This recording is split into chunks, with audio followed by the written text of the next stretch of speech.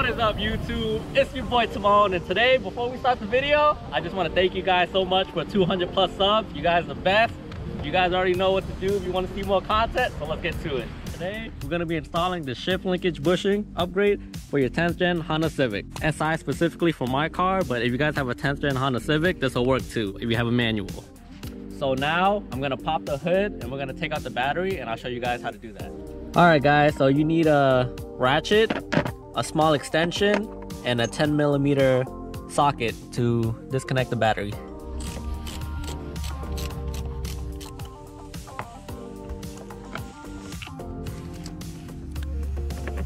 So after you disconnect the battery, all you need is a 10 millimeter open end wrench and then you're gonna start loosening the battery tray. So now that you got all the battery stuff out the way, you're just gonna have to lift the battery up and out. And also a tip, I heard that you're not supposed to put the battery on the ground for like, it probably shortens the battery life, so I'm just gonna put it in the WeatherTech floor mats in my car. All right guys, so I'm gonna show you guys the new bushings that I got. And these are the bushings. Ooh, Acuity sticker, another one, okay. And these are the rings and I guess clips you have to put in. And I'll show you guys what I mean about how this bushing is a helpful upgrade eventually when you get the whole shifter kit and all. I'm just preparing myself, so I got these first. Alright guys, so these two are the stock OEM bushings that we're going to be upgrading to the Acuity bushings and I'm going to show you guys how much play they have with them.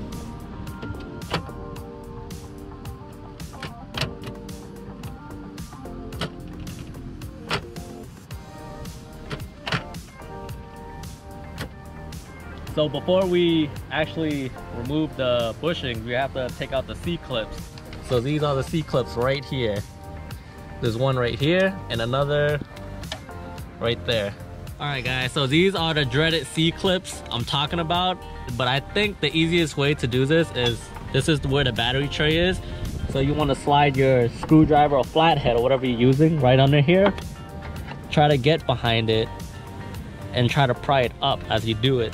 All right guys, so as you can see, it's about like 20 degrees out and we can't seem to get the C-clip out, but it's recommended to take it out so you can move the cable easier, but I'm just gonna show you guys the, the cheapest wrong way, I guess you would like to say. All right guys, as you can see, the damn C-clip is still in here and is not budging at all.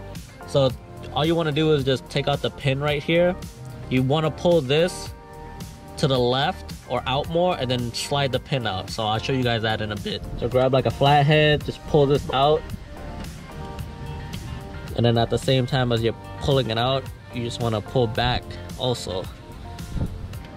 And that's how you get the pin out. So after you got the pin out, you just want to lift this up and put your flathead in here and try to pry this up and out So rock it back and forth and like that. Here's one of the old bushing. Alright guys, so we took the smaller bushing out as I showed you guys earlier and this is the bigger bushing with the pin. So same concept, pull the left little curled clip out and as you pull back at the same time.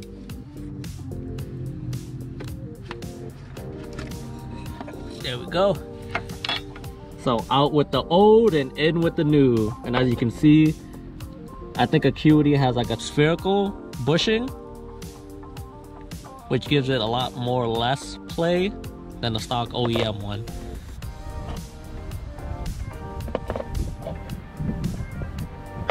So Acuity was kind enough to send us new rings and pins.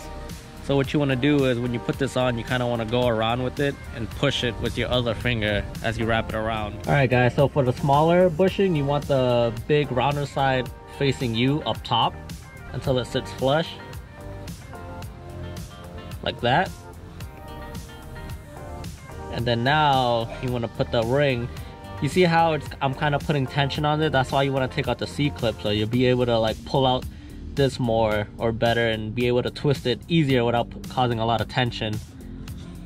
But we'll try our best to put this ring around it now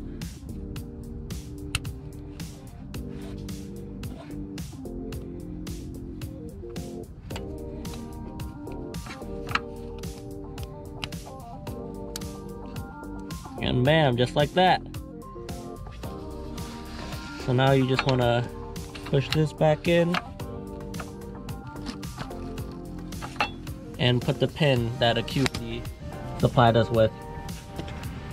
Now here's the pin.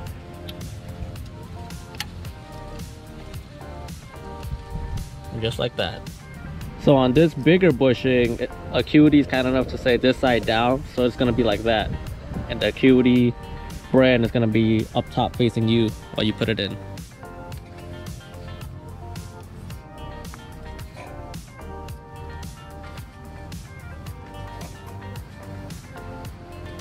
So there's a small opening right here on the bushing and I'm pretty sure that's where you would put the ring around it. All right guys, so after you put the, the ring in on the bottom, you kind of want to wrap it around as I said earlier. The final piece, bam, just like that. And we're good to go. So now I'm gonna show you guys the difference with the amount of play compared to the stock.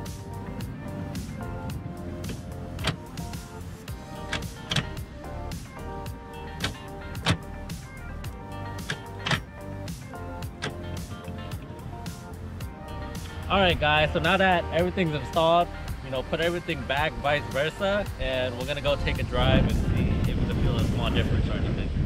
All right, guys, so after you connect the battery, it'll say like system initializing.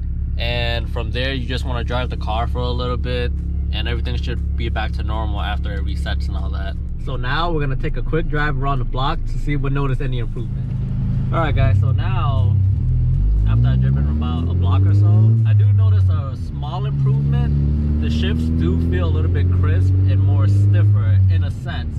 It's a really small change, but it, I would say if you drive your car for like thousands of miles, you would notice a small noticeable difference in it. And to really test it out, I'm gonna pump gas and then I'll really start getting on it and see how much of a difference it really does make.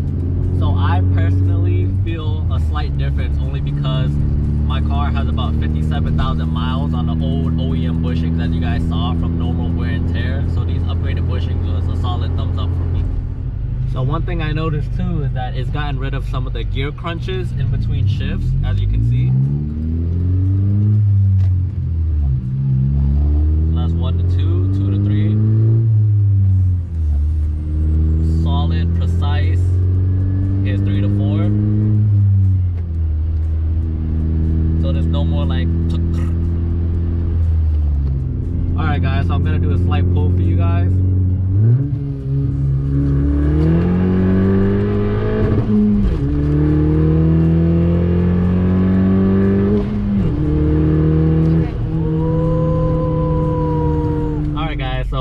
These bushings are a great small upgrade for about $70, $80 probably with shipping and all that, but I eventually want to get the full shifter kit and I was gonna need these eventually, so I got it. And hopefully that ties everything all together once I get it installed all right guys that's it for today's installation video. I hope you guys enjoyed it. So thank you guys again for 200 plus subscribers. You guys already know what to do. Comment anything down below if you got questions. Give the video a thumbs up if you found it helpful.